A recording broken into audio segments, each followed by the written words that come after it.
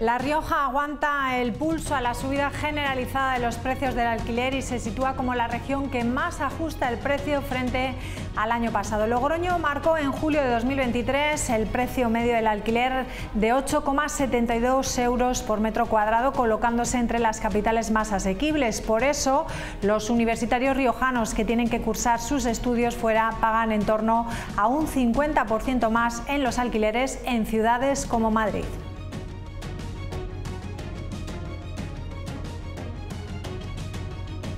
Me encontré con precios elevadísimos, habitaciones súper pequeñas, gente que de repente de un día para otro dejaba de contestar.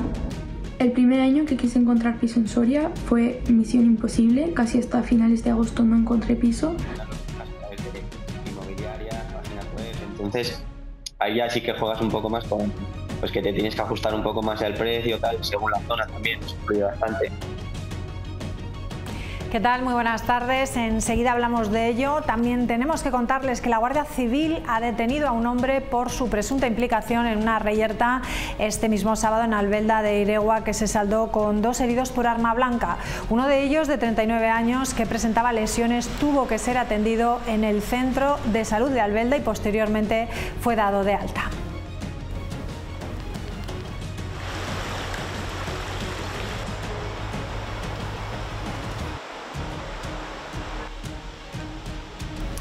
Vamos hasta el lugar de los hechos. Allí se encuentra nuestra compañera Marta Pina. ¿Qué tal? Buenas tardes. Sí, al parecer la pelea se originó en Albelda, concretamente aquí en la zona del Paseo de Liregua, cuando se celebraba la octava edición de la Feria de Vinos, que logró aglutinar hasta 2.000 personas. Ya hay un detenido y no se descarta que pueda haber más.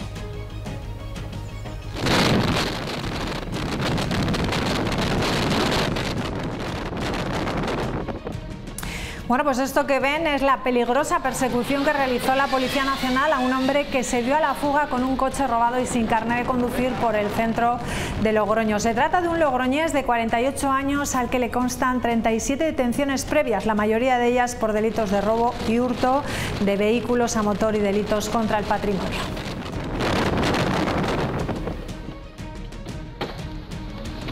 Y antes del 30 de Van a finalizar las obras de coworking que se están realizando en el antiguo colegio de San Bernabé. A partir de esa fecha se conocerán las empresas que se van a ir implantando en este vivero hasta junio de 2025, que estará ya a pleno rendimiento. Esta obra tiene un presupuesto de 2,6 millones de euros y cuenta con una financiación del 50% de fondos europeos. Ya se han mantenido contactos con empresas y entidades interesadas que se van a intensificar en los próximos días con visitas in situ al espacio. Para septiembre, digamos, que empresas, que usos vamos a tener definitivamente y que se empiecen a instalar a renglón seguido a lo largo de todo este año y que estén a pleno rendimiento como muy tarde en junio del 2025 con un mes de verano por delante todavía. Son muchos riojanos los que ya piensan en Navidad. La venta de lotería de Navidad ya ha comenzado y los más previsores se apresuran en acercarse a las administraciones para asegurar su número favorito. Yo empiezo a comprar lotería en el momento que si me voy de vacaciones en septiembre a algún sitio, en septiembre eh, cojo lotería. Entonces nos gusta coger eh, eh, el número en otras ciudades, ¿no? a ver si otras ciudades nos dan suerte. El cuñado, si ha ido, pues, qué sé yo, a Soria, por ejemplo, pues ya te traigo otro, sí. Yo me gasto unos 500 a 600 euros.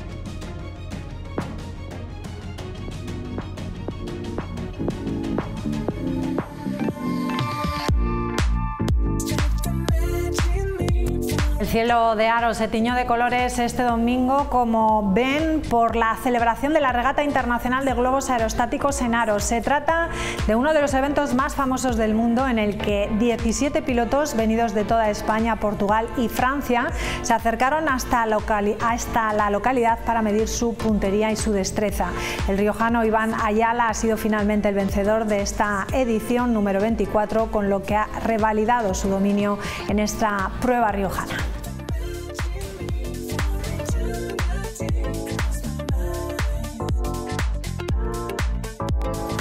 Bonitas imágenes, Rubén. Buenas tardes. ¿Qué tal, María? Buenas tardes. Pues en deportes nos vamos a ir con las Olimpiadas, porque han terminado, pero ahora empiezan ya las Olimpiadas, pero paralímpicas. Tan solo queda una semana para regresar de nuevo a París 2024. La Rioja estará presente no en forma de deportistas, pero sí en forma de cuerpo técnico. El tiro paralímpico y la natación están bien cubiertos, tanto por Miguel Ángel Virumbrales y también por Darío Carreras. A su vez, como fisioterapeuta viajará Jorge Cacheco. Los Juegos Olímpicos no se han acabado, que el, olimpismo no se ha acabado, porque los valores del olimpismo tienen que ser algo que, perdure a lo largo del tiempo y que desde luego los Juegos Olímpicos no se han acabado, que ahora vienen los Juegos Paralímpicos y que precisamente en los Juegos Paralímpicos las acciones de comunicación como la que estamos haciendo ahora son especialmente importantes porque no solo están los valores del deporte, sino que los Juegos Paralímpicos tienen un componente importantísimo de sensibilización.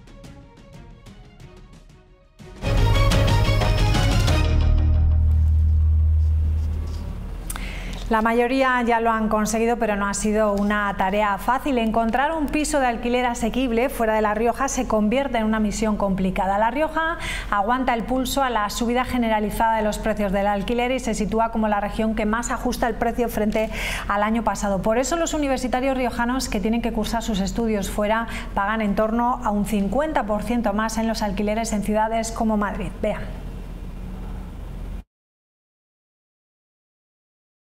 La Rioja aguanta el pulso a la subida de los alquileres y se sitúa como la comunidad más asequible, a diferencia de otras comunidades como Madrid, que duplican el precio de pisos y habitaciones en Logroño. Y lo que pago yo van a ser eh, en torno a 600 al mes con gastos incluidos. Eh, bastante más caro de lo que pagaba en Salamanca, que eran unos 350 aproximadamente. Ella es María, una riojana que el próximo septiembre se muda a Madrid, donde la relación calidad-precio no se cumple. Empecé a buscar piso alrededor de febrero, marzo y hasta y hasta finales de mayo no encontré absolutamente nada. Me encontré con precios elevadísimos, habitaciones súper pequeñas, gente que de repente de un día para otro dejaba de contestar. Un incremento de los precios que también lo sufren en ciudades como Soria. Los precios han subido muchísimo y antes un piso en Soria te solía salir a 200 euros al mes más o menos y ahora la mayor parte de pisos, hablando por cuartos separados porque tú alquilas la habitación, eh, suelen salir a mm, casi 500 euros al mes, 400 más o menos. Y aunque Logroño se coloca entre las más baratas con 8,72 euros por metro cuadrado, el mayor problema es la alta demanda. A ver, la universidad sí que tiene y te ofrece una bolsa de pisos, pero claro, son unos pisos que sí, están en muy buenas condiciones, pero claro, es un precio bastante más económico, entonces ellos sí que suelen agotarse eh, bastante más rápido. Entonces a los demás, pues al final los buscas a través de, inmobiliarias, páginas web, entonces ahí ya sí que juegas un poco más con, pues que te tienes que ajustar un poco más al precio, tal, según la zona también, eso influye bastante. Cuenta atrás para ese inicio de curso, son muchos los que estos días ya adelantan sus compras para ello. Un año más al campo, ya van cuatro, ha puesto en marcha una campaña de recogida de material escolar. Se ha puesto en marcha en 81 de sus centros de toda España y se prolongará hasta el 12 de septiembre. Los clientes que lo deseen podrán donar material escolar nuevo que se va a destinar a organizaciones locales para que a su vez se reparta entre familias con hijos en edad escolar y en situación de vulnerabilidad.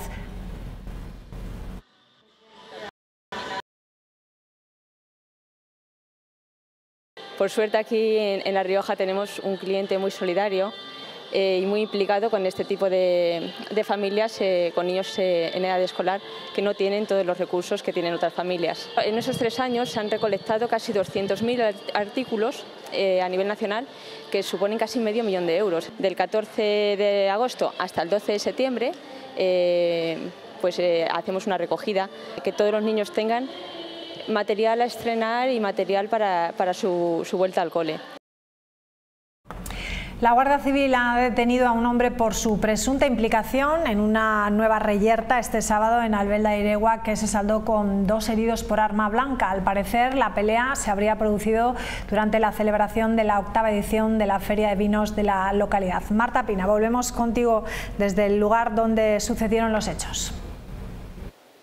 Sí, la Guardia Civil ha detenido a un hombre por su presunta implicación en una reyerta que se produjo este sábado aquí en Albelda de Eregua, que se saldó finalmente con dos heridos por arma blanca. Uno de los heridos de 39 años tuvo que ser atendido en el centro de salud de Alberite y posteriormente fue dado de alta y al parecer la pelea se originó concretamente aquí en la zona del Paseo del Iregua cuando se celebraba la octava edición de la Feria de Vinos que logró concentrar a 2.000 personas. Según cuentan los vecinos, se originó cuando se estaba ya terminando el evento. Ya hay un detenido y no se descarta que pueda haber más. La Guardia Civil se ha hecho cargo de la investigación y todavía continúa abierta.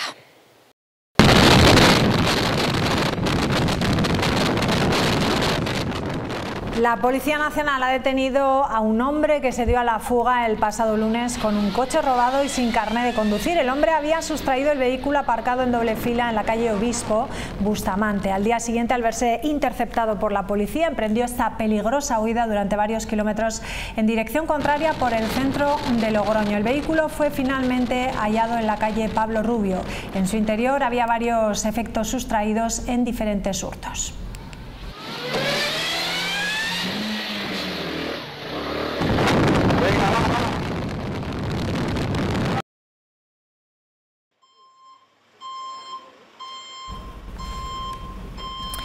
Y el Comité de La Rioja Cuida denuncia una nueva agresión a un técnico de emergencias sanitarias que resultó herido con laceraciones en los brazos. Los hechos ocurrieron el pasado jueves por la noche cuando el técnico atendió un aviso tras una pelea en la calle Duquesa de la Victoria de la capital riojana.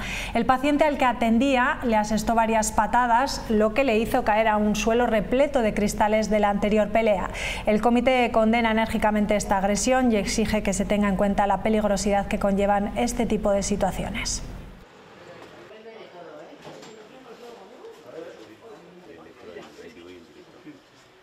Antes del 30 de septiembre finalizarán las obras de coworking que se están realizando en el antiguo colegio de San Bernabé. A partir de esa fecha se conocerán las empresas que se van a ir implantando en este vivero hasta junio de 2025, que estará ya a pleno rendimiento.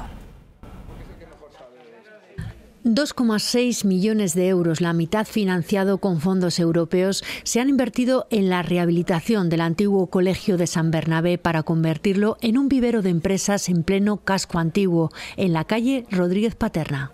No es lo mismo estar en la zona nueva de Logroño, en una zona nueva, que es como por decirlo así, bueno, muy funcional, muy interesante, muy esponjosa desde el punto de vista urbanístico, aquí, que es una zona como muy significativo muy representativa ¿no? de lo que es Logroño. Eh, y eso es lo que más llama la atención a las empresas. Y luego está la posibilidad de, de venir andando de venir andando, del desplazamiento más cercano, del desplazamiento más cómodo. El ayuntamiento ya ha mantenido contactos con empresas y entidades interesadas en este espacio de coworking que se van a intensificar en los próximos días con visitas in situ al espacio. Para el 30 de septiembre tienen que estar terminadas las obras y es entonces cuando se empezarán a conocer las empresas que se van a ir implantando para septiembre, digamos, que empresas, que usos vamos a tener definitivamente y que se empiecen a instalar a renglón seguido a lo largo de todo este año y que estén a pleno rendimiento como muy tarde en junio del 2025. Este proyecto forma parte de la Estrategia de Desarrollo Urbano Sostenible Integrado La Villanueva, planteado con el objetivo de regenerar urbanísticamente esta zona con usos empresariales y habitacionales. 800.000 euros es la cuantía del convenio que ha firmado el Gobierno de La Rioja con el Ayuntamiento de Nájera para la promoción y el mantenimiento también del Camino de Santiago a su paso por nuestra comunidad. Hace unos días se firmaba con Logroño y hoy en la localidad riojana de Nájera. La cuantía proviene de fondos europeos y servirá para el mantenimiento de las infraestructuras en el casco antiguo. Para nosotros es eh, un placer ver que el trabajo va saliendo, que estos fondos europeos por fin se están activando. El Camino Santiago para Nájera como enclave principal o uno de los enclaves principales en La Rioja del mismo, pues es muy importante cuidarlo, eh, promocionarlo y además renovarlo, como estamos haciendo con estas eh, infraestructuras, que son cambio de luminarias, casco antiguo, placas solares que nos van a hacer ser más sostenibles y además también la idea de repavimentar esta plaza de España que, en la que estamos hoy aquí. Con un mes de verano por delante todavía son muchos riojanos los que ya piensan en la Navidad. La venta de lotería ya ha comenzado y los más previsores se apresuran en acercarse a las administraciones para asegurar su número favorito. Tan solo entre julio y agosto se venden en España más de 3,6 millones de décimos y los riojanos además aprovechan esas escapadas veraniegas para comprar sus décimos. Apenas falta un mes para que finalice este verano de 2024 y son muchos los riojanos que siguen disfrutando de sol, playa, vacaciones y piscina. Mientras tanto, muchos otros ya están con la mente en villancicos, turrones y décimos de la Lotería de Navidad. Las administraciones han comenzado ya esa venta para el sorteo de la Lotería de Navidad y muchos riojanos han decidido acercarse los más previsores para reservar sus números favoritos y terminaciones la gente ya está animada, ¿no? En cuanto llega la lotería en julio, ya se empiezan a acercar por la administración, a hacer sus reservas, a, llevarse los décimos que igual se quedaron sin el año pasado de la empresa o del bar. Ahora en los meses de verano son los turistas los que más se acercan a la administración a, recoger esos, esos décimos que se quieren llevar a sus casas. Yo empiezo a comprar lotería en el momento que si me voy de vacaciones en septiembre a algún sitio, en septiembre eh, cojo lotería. Entonces nos gusta coger eh, eh, el número en otras ciudades, ¿no? a ver si otras ciudades nos dan suerte. El cuñado si ha ido, pues, qué sé yo, a Soria, por ejemplo, pues ya te trae otro, sí. Hombre, a mí me gusta la terminación del 3 o del 6. yo voy a la lotería y el número que me dan lo, no le digo dame este. Un decimillo, alguno, pero pocos, nada, uno, dos, no tenemos más. Yo me gasto unos 500 a 600 euros. no, nosotros nada que somos pobres, poco. La suerte ya está echada para ellos. El cielo de Aro se tiñó de colores este domingo por la celebración de la Regata Internacional de Globos Aerostáticos en Aro. Se trata de uno de los eventos más famosos del mundo en el que 17 pilotos venidos de toda España, de Portugal y también de Francia se acercaron hasta la localidad para medir su puntería y su destreza. El riojano Iván Ayala ha sido finalmente el vencedor de esta nueva edición, la número 24 ya, con lo que revalida su dominio en esta prueba riojana. Así lucía el cielo de Aro este domingo, teñido de colores por la celebración de la ya consolidada Regata Internacional de Globos Aerostáticos. Hoy ha hecho muy buen día, hemos salido todos los globos juntos de la carretera que hay entre Amuciana y Aro. Vienen, hay varios pilotos franceses, algunos portugueses y en total somos 17 en esta edición que se acercaron hasta La Rioja para medir su destreza y puntería en las diferentes pruebas organizadas a lo largo de todo el fin de semana, como la de este domingo.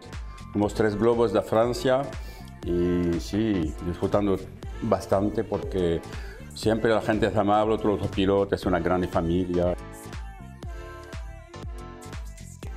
Aquí hacemos siempre una prueba sencillita, que es que un globo despega el primero y a los 5 o 10 minutos después de despegar los demás salimos y tenemos que seguirle. Y donde aterriza este primer globo coloca una pequeña diana, que es como una cinta de, un color chillón en el suelo, que nosotros vemos desde el aire, y todos los demás globos tienen que intentar pasar por encima y tirar un saquito de arena que, es donde pones tu marca y el que más cerca quede del, del punto es el que gana.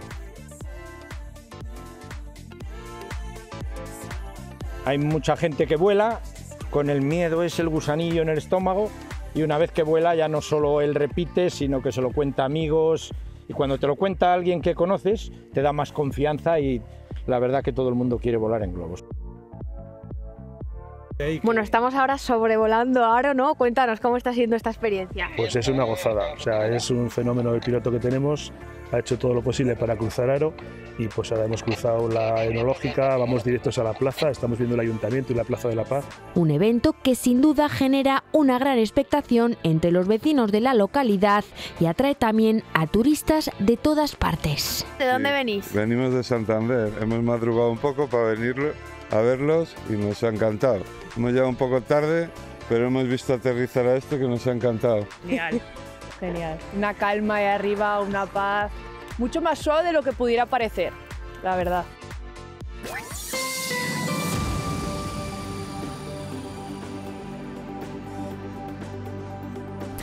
Esta tarde seguiremos con cielos poco nubosos, las temperaturas mínimas siguen en descenso, ahí en torno a los 14 grados de, de, media y las máximas que van en aumento y que serán localmente más notables. Los vientos soplan del noroeste o norte, flojos en general.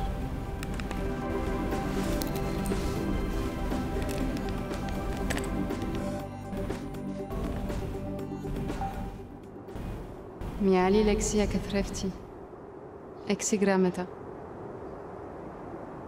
Oniro.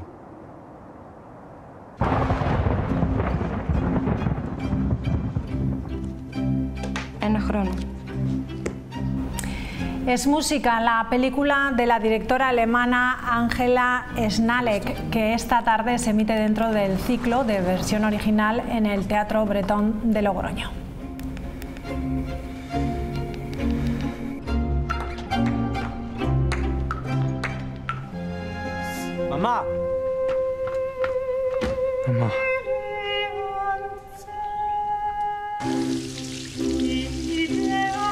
La nueva proeza de la cineasta alemana es una adaptación contemporánea de Edipo, uno de los mitos más conocidos de la Grecia clásica, aunque con un mensaje esperanzador al final de su largometraje. Con este avance de la película les dejamos. Recuerden que en unos instantes llega Rubén La Parra con los deportes. Adiós, buenas tardes.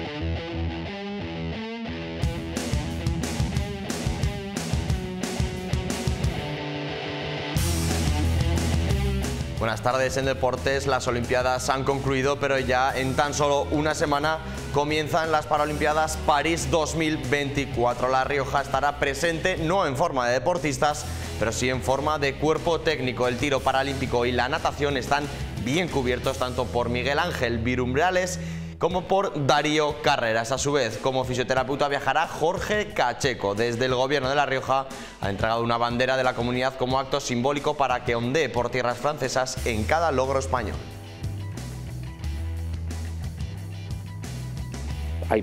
Representación riojana dentro de ese cuerpo técnico y queríamos recibirlos, desearles suerte y entregarles simbólicamente también como una acción de comunicación y de, y de recordarles que estamos con ellos, pues una bandera de La Rioja para que pueda ser llevada a París y para que pueda ondear en París y que ojalá pueda arropar éxitos de nuestra delegación española eh, dentro de, de esta segunda fase de los Juegos Olímpicos que son los, los Paralímpicos. Las sensaciones de verdad que son buenas. Esperamos a ver si entre 7 y 10 medallitas estaría muy bien, sobre todo en atletismo adaptado, que es en lo que yo me muevo más. De una ciudad que se llama Châteauroux, que es el Centro Nacional de Tiro de, de Francia. Es un- una instalación maravillosa, se gastaron muchísimo dinero, hicieron ahí algo estupendo y bueno, creo que va a ser un buen sitio para traernos un par de medallitas.